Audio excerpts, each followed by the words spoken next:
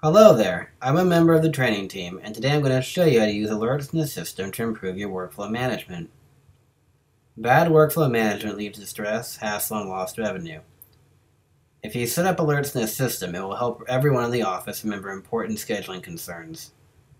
I'll show you a good example of that right now. Let's say we have a patient named Kelly Brown with a unique concern. Miss Brown needs to sign a form from her insurance company on her fifth visit from the initial start date. So we can create a patient-specific alert in the system to remind staff what to do. You can go under Patient, and then Schedule,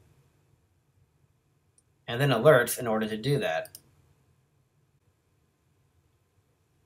You can click on the question mark here to find out how to configure a patient alert.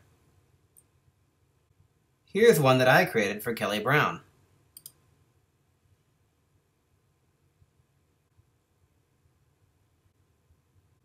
You can set up the system to have alerts pop up when a patient checks in like I have.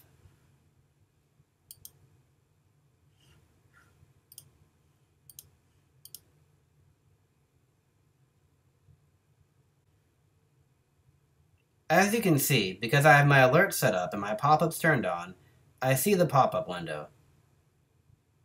Now you can turn them off, however, which I'll show you in a little bit. If you have alerts turned on but don't want the pop-ups to come up, they will still appear in the white left-hand column. You can turn the alerts on and off by coming over here to this button. Clicking on it when it says pop-up message is on will turn it off. If you click on it when it says pop-up message is off, it will turn it back on. Office policy should be to leave an alert up until the task in question has been completed. After the task that the alert is about has been finished, then it should be deleted. The person who completed the task that the alert is about is the one who should delete it. If you have alerts that were not deleted from a patient's previous visit, the alert patient has existing alerts will appear.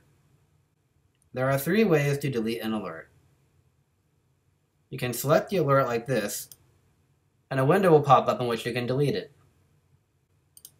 Now you can also select the alert, like I just did, and click on the red X. That would delete it too.